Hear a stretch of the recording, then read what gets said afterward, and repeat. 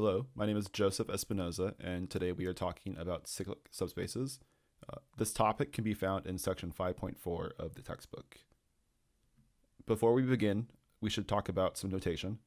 So when we see t to the 2 of x, this is just t composed with t of x. Likewise, if we see t to the n, this is just t composed with itself n minus 1 times. Now that that's out of the way, we can talk about t cyclic subspaces.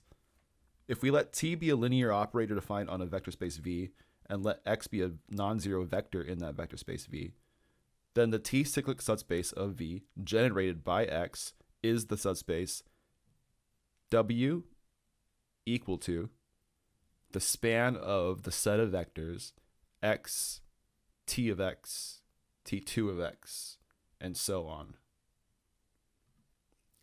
Since W is a subspace of V, then it's possible that W is V. In this case, we call X a cyclic vector.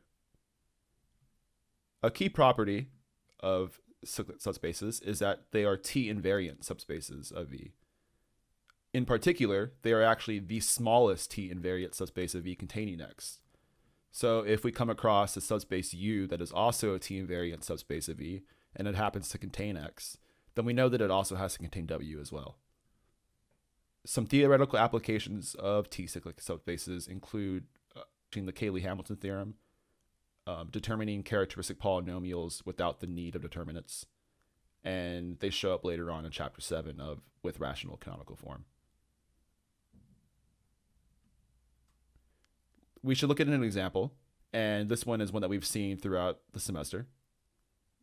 If we consider the space of polynomials with real coefficients, and we let t be a linear operator on this space such that t is the derivative, then the t cyclic subspace of V, generated by the polynomial x to the power of n, is just a space W equal to the span of the set of vectors x to the power of n, and then these are just the consecutive derivatives of this polynomial until we get to a constant value, at which point the derivative becomes zero, and we don't need that to span our set?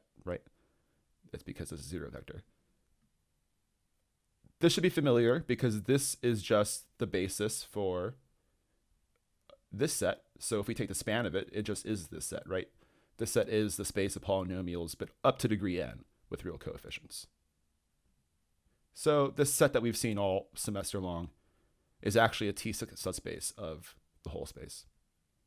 Now that we've seen an example, we should look at some counterexamples.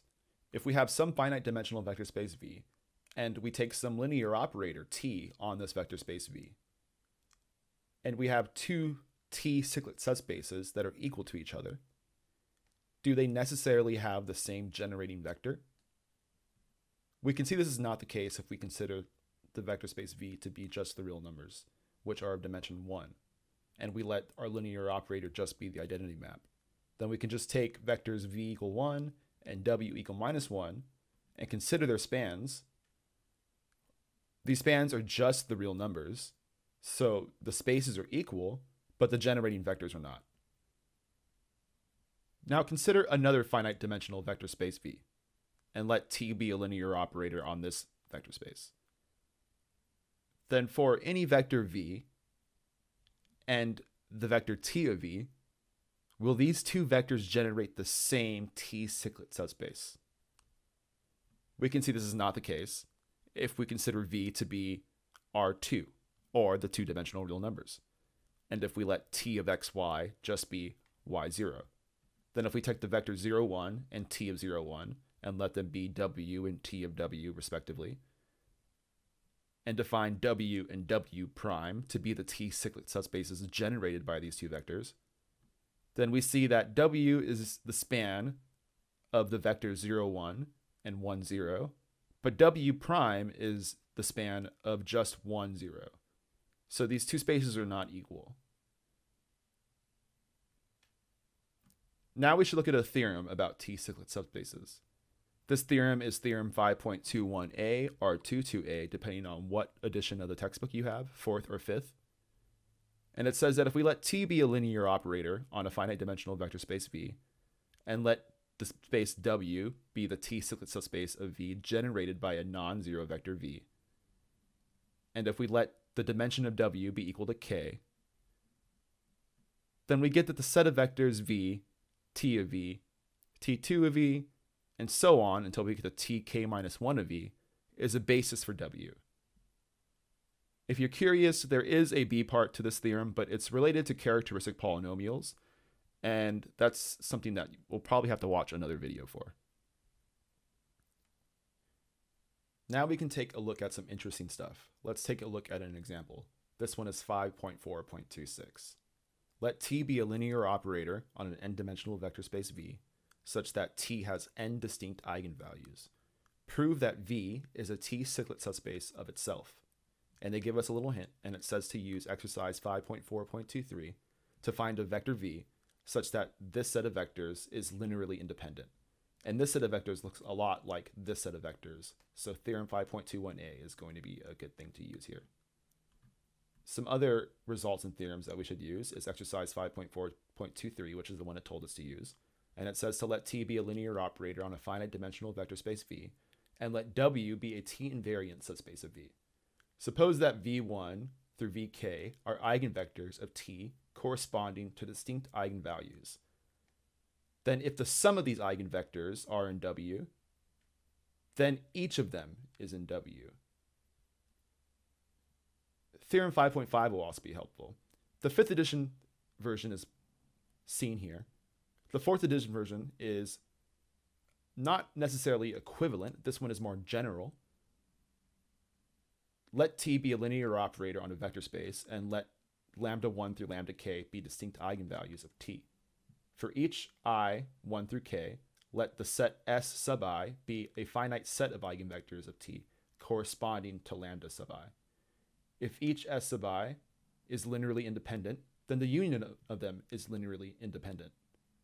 Now we are ready to tackle this exercise. Again, it says let T be a linear operator on an n-dimensional vector space V such that T has n distinct eigenvalues. We want to show that the space V is actually a T cyclic subspace of itself. So let's begin the proof by noting that we are given that T has n distinct eigenvalues. So we can take corresponding eigenvectors, V sub i, and consider the vector that is just the sum of these eigenvectors. Then we want to let W be the T cyclic subspace of V generated by the vector V so that the space W is T invariant, so we can use our theorem. Then by exercise 5.4.23, since the vector V equal to the sum of these eigenvectors is in W, then each of these eigenvectors are also in W. And theorem 5.5 provides us with the result that a finite set a union of finite sets of eigenvectors that is linearly independent is also linearly independent. So then we know that the dimension of W, which is made up of the span of at least these vectors, is at least n. But since W is a subspace of V, it has to have dimension at most n. So the dimension of W must just be n. So then our space W is actually just the whole space V itself. And we have that by our theorem that this set of vectors, V, T of V, all the way up to Tn minus 1 of V, is just a basis for W. And since W is equal to V, it's also have to, it also has to be a basis for V as well. So we've shown that V is actually a T-cyclic subspace of itself. Thank you for watching. I hope this was helpful. I look forward to watching everyone else's videos, and I want to wish everyone else good luck on the exam.